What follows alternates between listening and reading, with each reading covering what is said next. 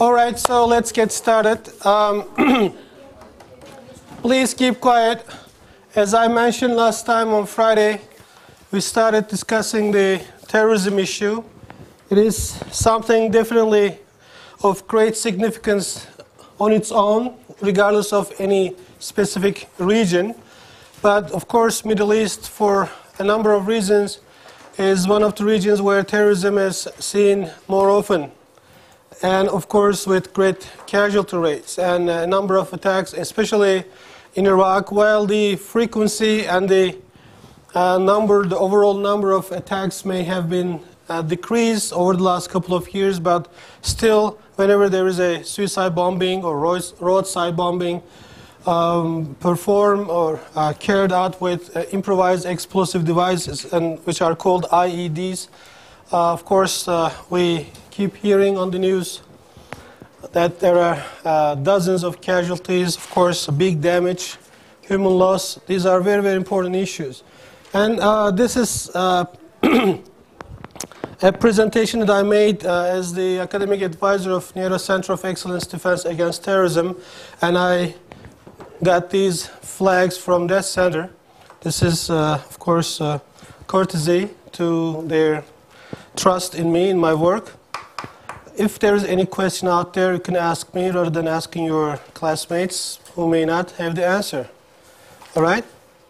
So um, we will therefore discuss today uh, in two hours, uh, maybe on Friday uh, as well. Uh, in just one hour, we will cover this terrorism issue. And I, I have the intention to conduct a little bit of a, a rehearsal uh, on Friday, at least for uh, like 10, 15, 20 minutes uh, in order to prepare you for the next week's simulation so that uh, you know what you are going to do and how you will act, what kind of uh, roles you will have within your groups and within the overall simulation.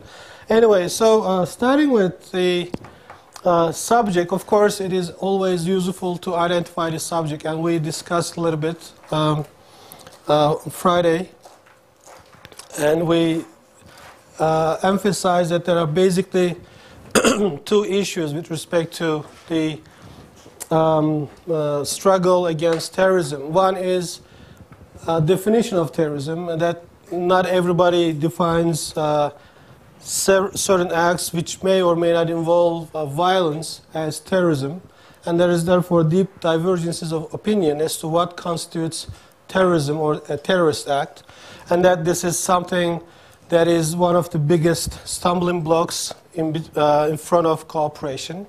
And another issue, as we discussed also a little bit within this uh, one hour uh, on Friday last week, was the necessity of having proper intelligence. Proper intelligence, actionable intelligence, that is, intelligence, necessary intelligence, reliable intelligence, uh, necessary uh, in terms of uh, the substance, the amount of uh, information coming with that in intelligence, and also reliable sources must be reliable, and also uh, intelligence must not come after a terrorist attack is carried out already. So it must be timely so that security forces or intelligence uh, units may take steps to prevent any attack from occurring. And from time to time, uh, we learn from uh, the press releases or certain information that may leak to the press or from other sources that even though the large populations may not be aware of, uh, there, there, may, there were several, several attempts, terrorist attacks, uh, which were thwarted and which were just prevented from occurring by the security forces, police, uh, the military, the intelligence, uh, whomever might be involved. So therefore, intelligence is one of the most important instruments, most important assets in the fight against terrorism. And uh, it is also the area where cooperation is not only needed the most, but also the most difficult. So therefore, these are the two issues, intelligence sharing and difficulties in intelligence sharing and definition of terrorism, and of course, a divergence of opinion in the definition of terrorism. Having uh, emphasized this, I believe, enough last Friday, I think we can go ahead with uh, identifying the, the, overall problem again, bearing in mind that uh, the two issues, definition and intelligence sharing, are the important uh, issues that you know we're dealing with in academia and also in the academic dimensions of uh, the sort of institutions uh, who are dealing with this problem. Um, as I emphasize here, the world is getting, of course, thanks to globalization. Globalization is not always something that may have brought with it a number of opportunities, but also there, there are certain difficulties. There are certain problems emanating from, uh, you know, rather high, high pace of uh, globalization. Well, there are certain issues which are definitely very good for the humanity. There are no borders. You can reach from uh, one part of the world to the other part of the world, depending on, of course, what kind of uh, transportation uh, uh medium you may have, or, you can also deliver services uh, to every single corner of the world, thanks to the uh, capabilities that are advanced with globalization. But this globalization also created a very and highly interdependent and complex interdependence occurs, a highly interdependent world. And because of this, vulnerabilities uh, of states increase. And, and certain threats are emanating just merely from this increase in globalization. So certain threats which may have been located, which may have been isolated in certain parts of the world, now have become also global. So uh, threats have become global. And states, of course, uh, not all of them maybe not, not any one of them, uh, uh, not all of them are endowed with or uh, with necessary capabilities to, to, to, to, deal with them. So it is therefore essential that you know, states bring together their capabilities and fight against this uh, predicament uh, altogether, especially after 9 11. We have seen that not even the United States is capable of dealing with uh, uh, the, the threat of terrorism. Yes, uh, the United States is, may not be looking forward to getting the fullest cooperation of every single nation that are that is, you know, willing to cooperate with the United States. There are certain uh, difference of opinion as to on what grounds um, this cooperation should occur, but still, it is a big problem. So, uh, what is important to underline here is that the distinction between international security and national security, or some prefer to call it homeland security, is getting blurred. I mean, in the past and still is today, I mean, this, I don't really buy this argument that no, nation states have evaporated, have just uh, uh, dissolved, there's no such thing as nation state anymore. Well, there may be, yeah, yes, uh, the borders are lifted. There is this uh, high pace of globalization, global cooperation, trade, you know, communication, everything uh, became global, but still, nation states are still the very important, if not the single most important, but very important units of analysis in international relations, and states are still important. So um, it is not possible to get rid of state stru structures or to undermine their significance or their power or their effectiveness. So whenever something happens, you look around for a state uh, institution to help you out if there is a problem. Uh, so therefore, uh, this is not something that I, I agree with, but uh, what I agree is that uh, in the past states were more capable of, as I mentioned, to isolate the problem and solve within their own borders and deal with the problem uh, on their own if uh, that was the case.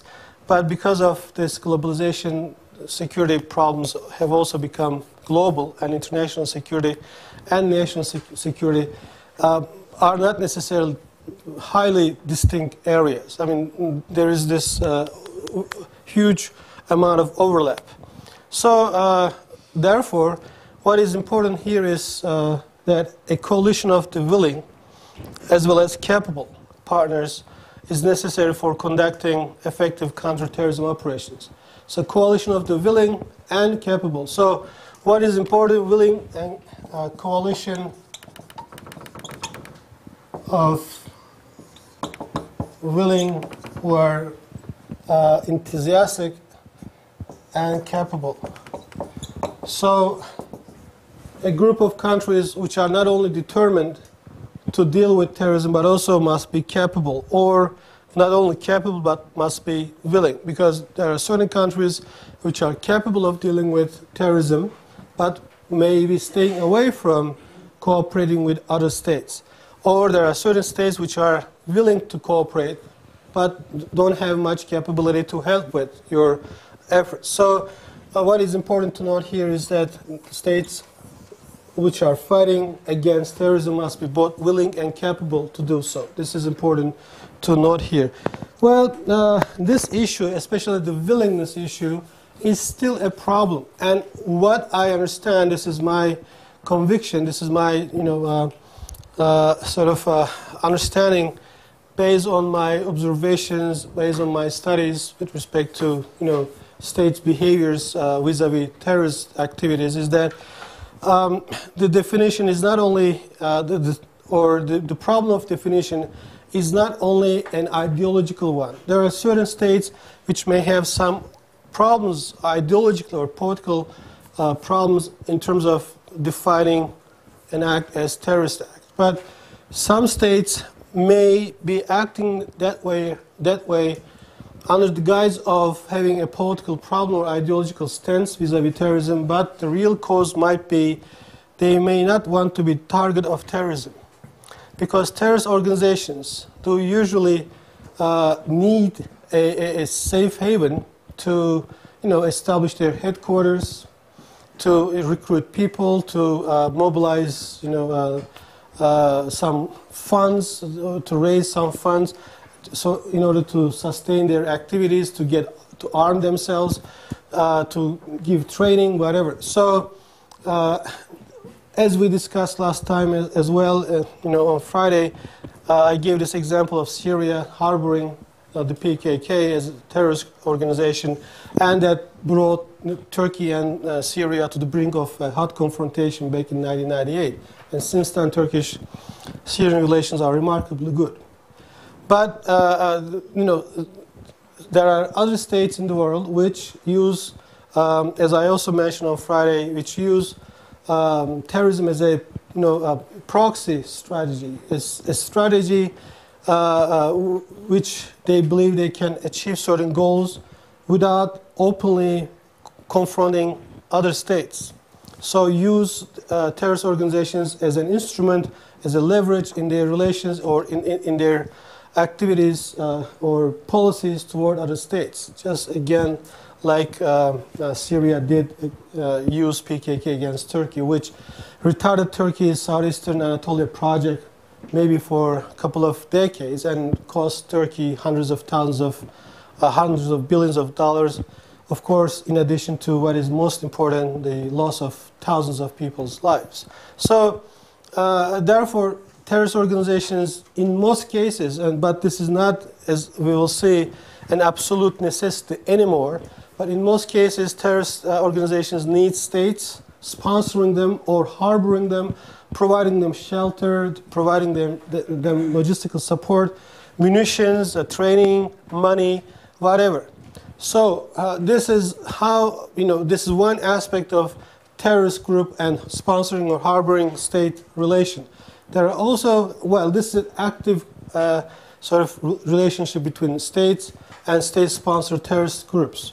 But there are also some states which may not necessarily directly sponsor terrorist organizations, which may not provide them shelter, which may not provide them any uh, logistical support, but they may turn a blind eye to their activities. They may not necessarily uh, do uh, whatever their laws may necessitate them or require them to do in terms of arresting some people or uh, maybe uh, taking some uh, or conducting some investigations about the activities of certain parent uh, companies, which are used as you know, uh, you know, some instruments to carry out um, illegal activities, etc. And Turkey is very much complaining, and we have heard this not only as you know statements from uh, low-level bureaucrats, but we have heard this from the, from the level of the president, from the level of prime minister and ministers, who have complained time and again the lack of cooperation or lack of understanding between Turkey and Turkey's European allies, not only within NATO, but also considering that Turkey is now a country which has a European membership accession, which has a perspective, well, no matter how far it may seem to be at this point. And, and Turkey asks from time to time uh, from a number of European states to investigate certain groups uh, or to investigate certain activities or to arrest certain people, uh, individuals. Uh, and not in most cases these have been realized. So there is this type of um, uh, disagreements.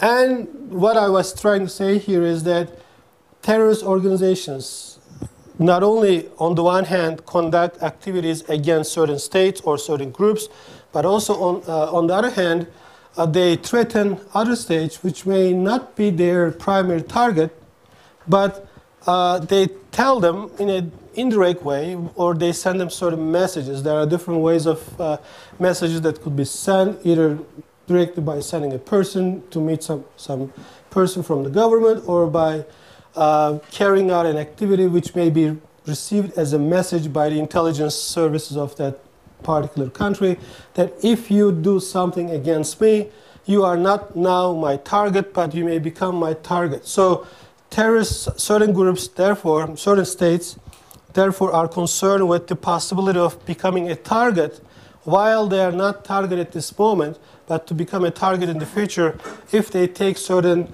restrictive actions against the activities of terrorist organizations. So we have seen this in the past. We are now seeing this. Of course, it is not easy to give names here.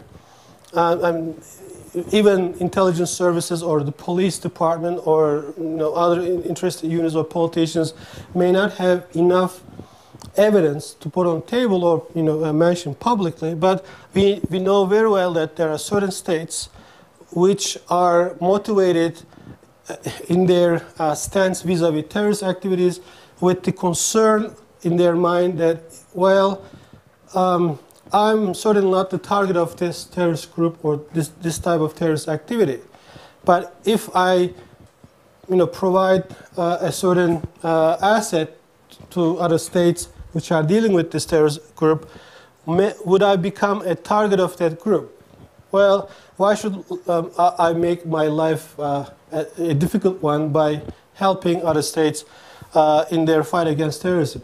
But what must be understood, especially at this stage, I mean, uh, from today and into the future, there is a, a significant change in the profile of terrorist groups and also in the types of activities these terrorist groups are carrying out. Because, especially since the end of the Cold War, the profile of terrorist organizations exhibited stark differences, as I mentioned here. What we knew, I mean, uh, and still know, um, as I mentioned last Friday, there are certain terrorist organizations, you know, which the quick ones that comes that, uh, that come to uh, one's mind are you know, IRA, PKK, Tamils, and ETA, etc. And these are mostly, not exclusively, but mostly motivated by ideological uh, sort of uh, motivations and have mostly, in most cases, have separatist uh, ambitions. And they are found, in most cases, in more or less uh, an identifiable geographical location. They are not dispersed to all parts of the world. They are maybe not in a specific city or town, but they can be found more or less within a uh, certain uh, boundary.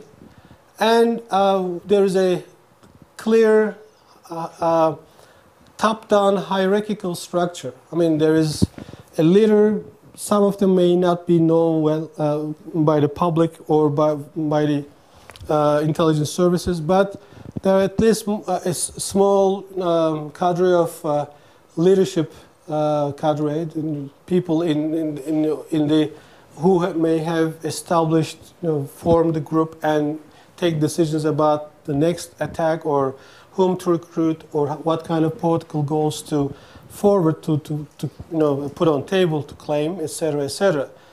But, uh, and these are uh, such organizations that the intelligence services, security forces have huge amount of information about them. Well, and in, in most cases, even in, including Hamas and Hezbollah, well, some define as terrorist organizations, some do not consider them as terrorist organizations.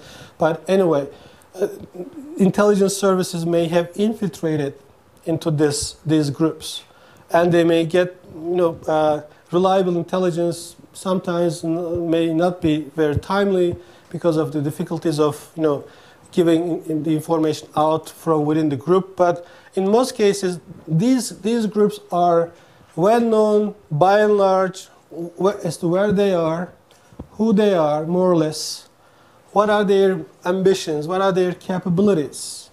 I mean, how many people they have, for instance, there is this uh, uh, certain understanding about uh, the, the, the armed units of the PKK on the Kandil Mountains. There is this figure which varies from four to 5,000 uh, terrorists on the mountains and some 1,000 or 1,500 within the Turkish uh, frontier with, uh, on uh, Turkish territory.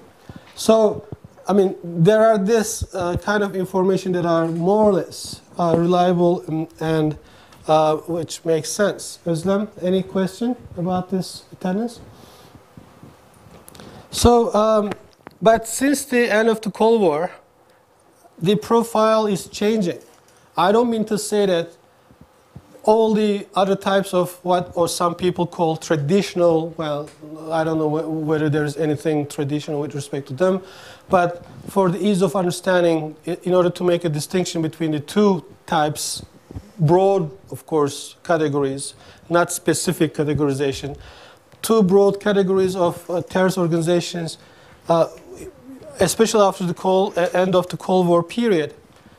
This, these differences are becoming uh, much more uh, clear and also uh, make a distinction in terms of the fight against these groups. And these, these, these differences must be properly understood beforehand because without properly identifying the problem, you cannot uh, sort of come up with a number of strategies as to how to cure the problem. So it is therefore necessary to understand this thing. And what we see, I mean, when compared to what we have so far known as traditional uh, terrorist organizations, about which we had more or less uh, you know, reliable and satisfactory information about capabilities, identities, whereabouts, you know, the coordinates and whatever, or ambitions, etc. These are still around, and they are not likely to go anywhere anytime soon. No one claims that, well, there is no more, not anymore, any such terrorist organizations. Yes, there are still around. But added to this, a new dimension of terrorist activity or a, a new, new sort of a more or less broad group of uh, terrorist uh, organizations which are different than what we have known so far. And we have understood this uh, from their activities over the last uh, couple of decades. And these are transnational networks of uh, local organizations. I mean, unlike the so-called traditional terrorist organizations which uh, have more or less a headquarters somewhere and the leadership cadre somewhere, and in, in, a rather close distance, not too far, there is this you know, other you know, backup units or training groups or recruits or armed units and whatever, logistical support training areas, etc. Unlike this, now the whole world, uh, the, the world is now the sort of uh, the headquarters of uh, this kind of organizations. If not the headquarters, are the sort of, uh, uh, there are locations where small units of this kind of transnational, what is important here is transnational network. This, this is something that, you know, that is across the nations uh, around the world. So this is one thing. Secondly, against what we have known so far that most separatist terrorist organizations were motivated by ideological you know, uh, stance, uh, with their you know, distinct ideological stance.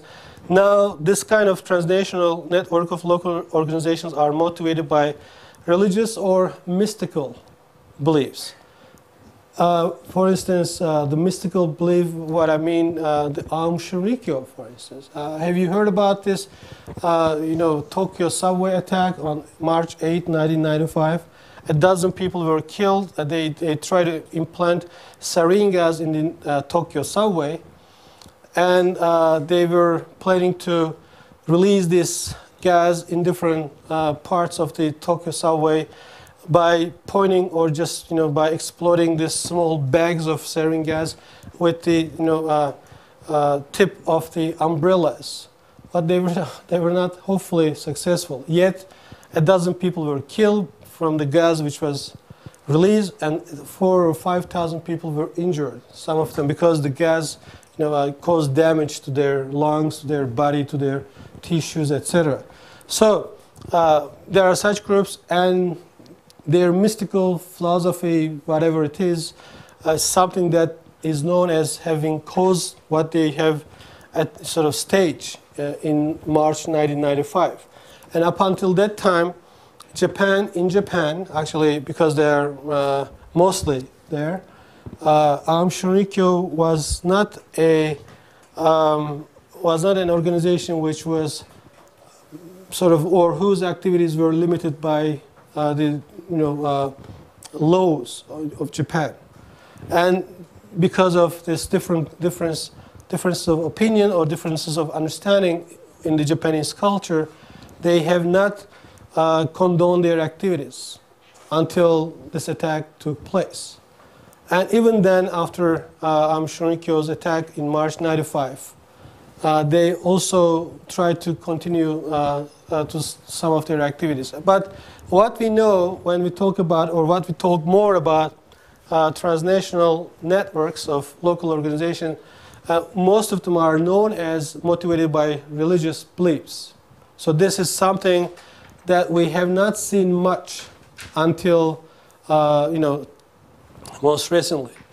And again, what is interesting to note, um, when you think of the PKK, the ETA, or Tamils, yes, apart from the leadership cadre, some of them who are ideologues, uh, who are uh, who may have been educated at universities or in some institutions, and the rest are foot soldiers, you know, mostly recruits from villages, from the lowest strata in terms of economic sort of uh, uh capabilities or whatever.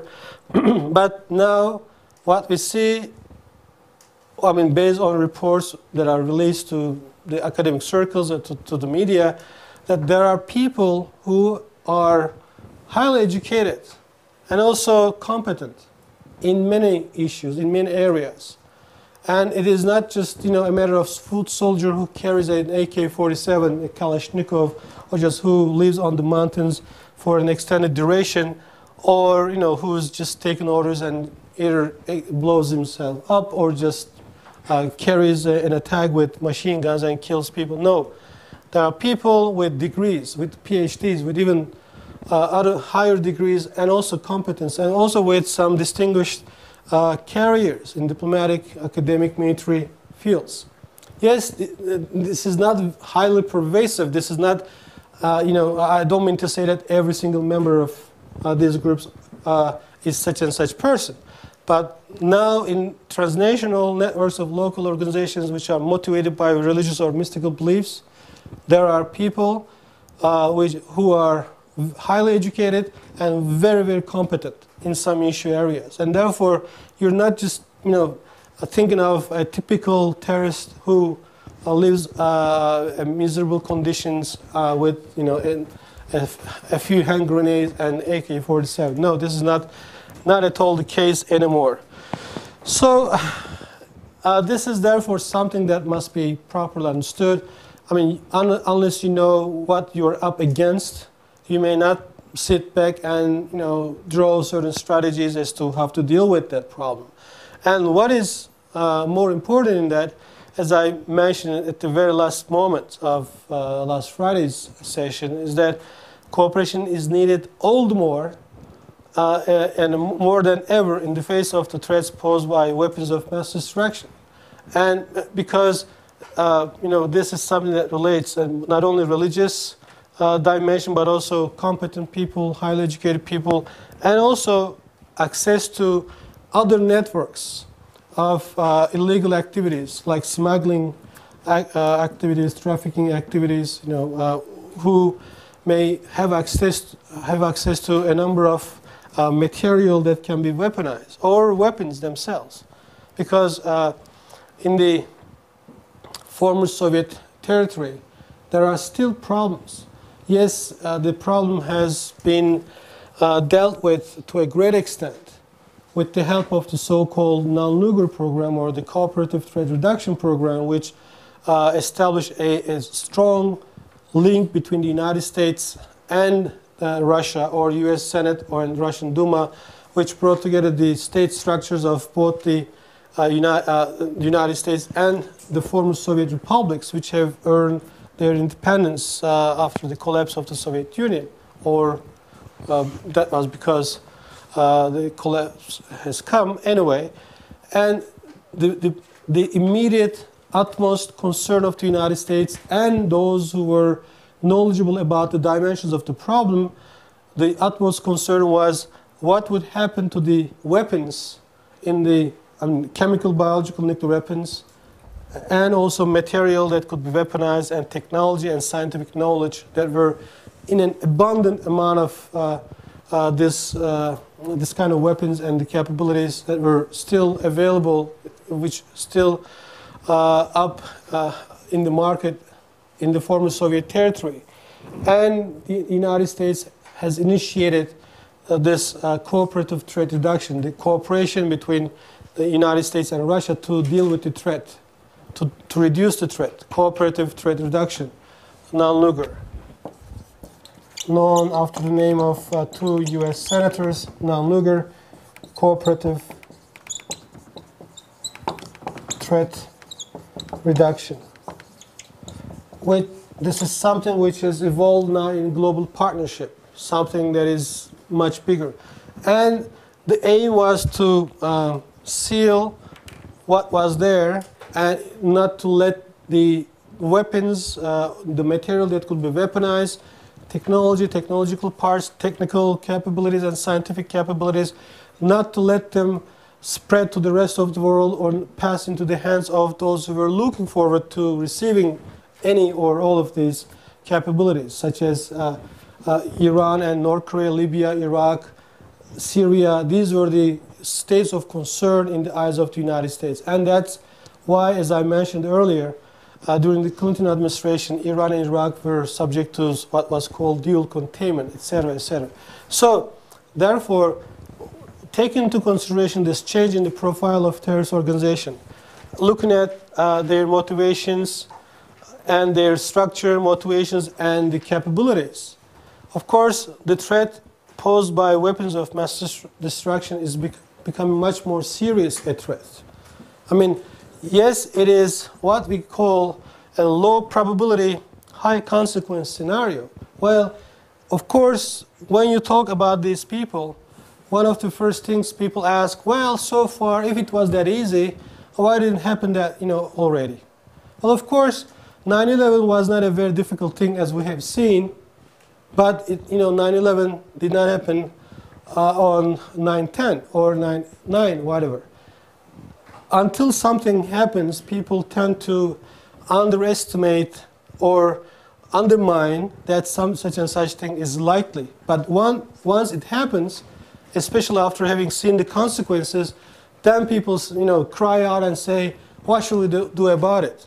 Well, it's too late for doing certain things. Still not late to do other things or to, uh, to take other precautions or at least to mitigate you know, the, the, or to, damage, to limit the damage or the sort of the, the collateral damages to prevent the second or you know, other third attacks, etc. But what is important to bear in mind is that yes, they may not happen, occur, they may not occur every single day, but once, if and when it happens, the consequences are high. Are you ready to bear the consequences? That's the question. So if you're not concerned about the consequences, I don't care. Well, that's uh, God's will. If thousands or hundreds of thousands of people are going to die, well, that's not a big deal. We have several mil- billions in the world. Well, this cannot be the answer of a statesman. A statesman or a responsible officer, security officer, intelligence officer, an academic, or a politician is to take the necessary measures, which in the first place would prevent such an occurrence, and if fail to prevent, then limit the damage. So this is what we call indeed arms control, or you know, uh, taking some actions in order to uh, limit the uh, or to lower the probability, but still the consequences are so high that even the smallest probability must or might be uh, serious enough to you know uh, to bear in mind and to take certain counter actions. Okay, let's uh, give a break before we continue with the next slide and we'll see what comes next.